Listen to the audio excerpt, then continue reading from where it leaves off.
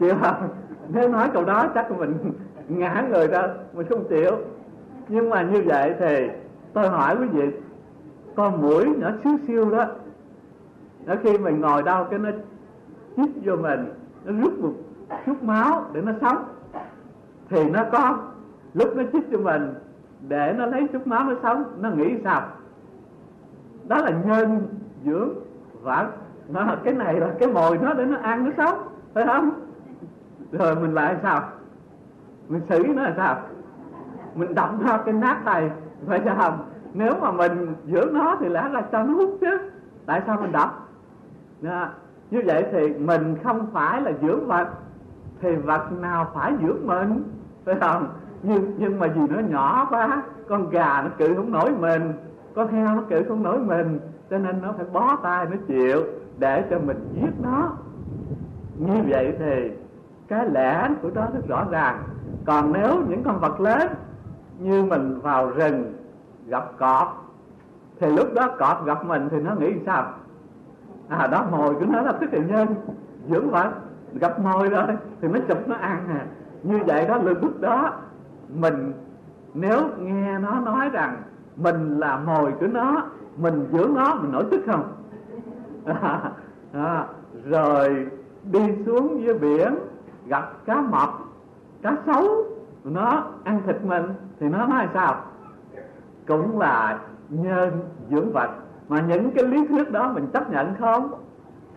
Mà nếu mình không chấp nhận thì cái lý thuyết mình nói vật dưỡng nhân, các con vật đó nếu nó biết cãi, biết nói lời nói, người á, thì nó có cãi với mình không?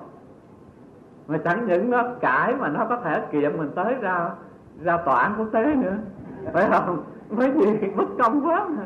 nó đâu có bao giờ nó chấp nhận nó sanh ra để cho mình ăn. Phải không? Mà mình đặt câu nói như vậy để mình ăn nó cho ngon lành. Ăn nó mà không có chút hối hận. Phải không? Bởi vì nó nuôi mình cho nên có cái gì đâu mà hối hận. Còn nếu mình biết được cái lẽ thật biết được cái lý công bằng á, thì thấy rõ ràng trên cuộc sống này không ai dưỡng ai chẳng qua là cái người mạnh thấy cái cái loại yếu nhu cầu cần dùng thì bắt ép nó để nó làm mồi cho mình ăn.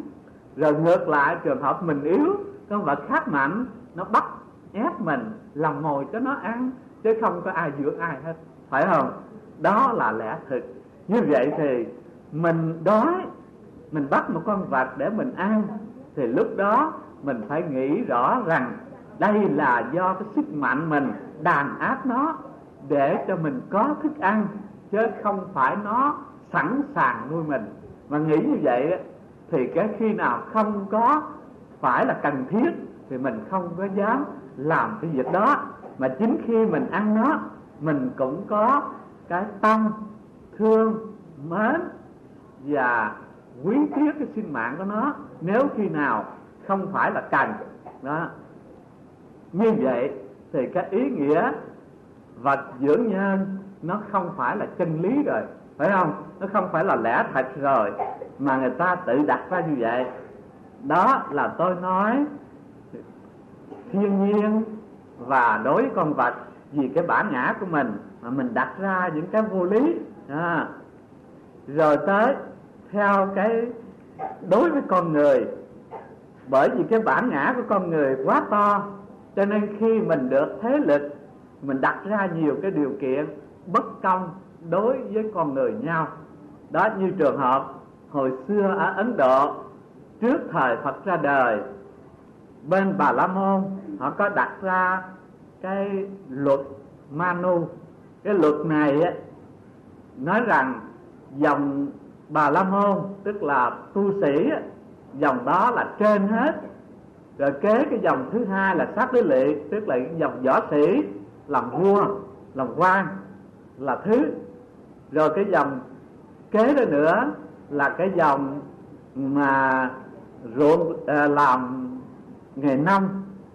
Rồi kế đó nữa là cái dòng làm cái nghề thợ thuyền. Còn rớt ngoài lọt ngoài sổ đó là cái dòng hạ tiện hay là nói cái tên khác là tiện dân đó. Maria thì cái dòng đó đi tới đâu là phải rung chuông để cho mấy vị kia ta tránh để sợ đụng nó rồi nhớt nhúa họ thì như vậy cái luật đó do ai đặt ra có phải là do những cái con người họ khôn rồi họ đặt ra như vậy để cho cái giai cấp của họ thụ hưởng, bắt những giai cấp khác nên nó nuôi dưỡng mình, cung kính mình, thờ phụng mình. Như vậy thì cái giai cấp mà khôn ngoan đó nó bày ra thì vì cái gì mà bài có phải vì cái bản ngã của họ họ muốn thụ hưởng rồi đặt ra những cái bất công? Như vậy thì quý vị mới thấy mọi cái bất công đó là vì căn cứ trên cái bản ngã của họ họ muốn được sung sướng, họ muốn được được thụ hưởng lâu dài. Cho nên đặt ra những luật lệ để cho những người khác phục vụ, cung kính họ. Đó đó là cái bất công. Rồi sau này, như chúng ta thấy, trong cái thời phong kiến, cái thời quân chủ, mấy ông vua đó, mấy ông vua, mấy ông tự xưng ông là gì? Là thiên tử. Thiên tử là gì? Là con trời đó. vì trời xanh nó muôn vật. Thì cho nên trời là trên hết, mà nhà vua là con trời. Bởi là con trời cho nên muốn giết ai thì giết, muốn để ai thì để muốn phong ai làm quan thì phong, còn muốn hạ ai xuống thì hạ. Không ai có quyền ngăn cản, không ai có quyền làm trái lại. Như vậy thì tự tôn mình là thiên tử hay là ai phong cho mình? Cái đó cũng là vì cái bản ngã của họ. Khi họ ở cái ngôi vị cao, họ có quyền lực, rồi họ tự đặt ra như vậy để mà bắt mọi người phải tuân, phải theo họ. Đó là cái lẽ mà ở thế gian luôn luôn đặt ra để mà đánh lừa người. Thì quý vị mới thấy mọi cái điều đặt ra từ trên đến đây, toàn là vì cái bản ngã hết. Bởi vì cái bản ngã cho nên mới đặt ra những cái luật lệ bất công, làm khổ cho những cái người mà họ bị lọt vào giai cấp thấp. Vì bản ngã cho nên đặt ra mình cái quyền lực tối thượng để rồi trừng trị, để rồi làm những cái việc mà không ai dám kêu rêu, không ai muốn dám than thở. Đó là những cái điều mà tôi nói do cái chấp ngã mà gây những sự bất công đau khổ cho con người. Như vậy thì những quan niệm đó là quan niệm đúng hay sai? Từ cái chấp ngã mà có những quan niệm sai lầm, mà đã có những quan niệm sai lầm rồi thì người ta dễ đi tới đặt để ra những cái vị trí tốt cao cho chính mình để cho thỏa mãn cái bản ngã của mình. Chứ không bao giờ họ tìm hiểu, không bao giờ họ muốn thấy được lẽ thật. Đó là cái điều mà tôi nói cho quý vị biết rõ. Bây giờ đây, nếu mà chúng ta muốn phá cái mê lầm đó, muốn bỏ những cái chấp ngã to đó, thì chúng ta phải làm sao? Phật dạy thế nào?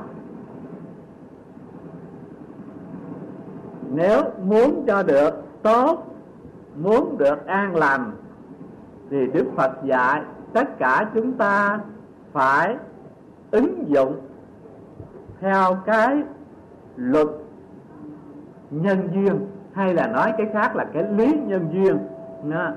Vì từ thiên nhiên cho tới muôn vật ở trên thế gian này đều tùy thuộc vào cái lý nhân duyên. Lý nhân duyên là một lý thật mà người ta không có hiểu, người ta không có thấy. Bởi không hiểu, không thấy cho nên mới có những cái quan điểm sai lầm, chấp ngã ở trên. Còn nếu hiểu, thấy được lý nhân duyên thì tất cả chúng ta sẽ không còn có cái chấp ngã đó nữa à, bây giờ tôi trả lại cái vụ ban đầu. Nói rằng mưa để làm ruộng thì ở ngoài biển cả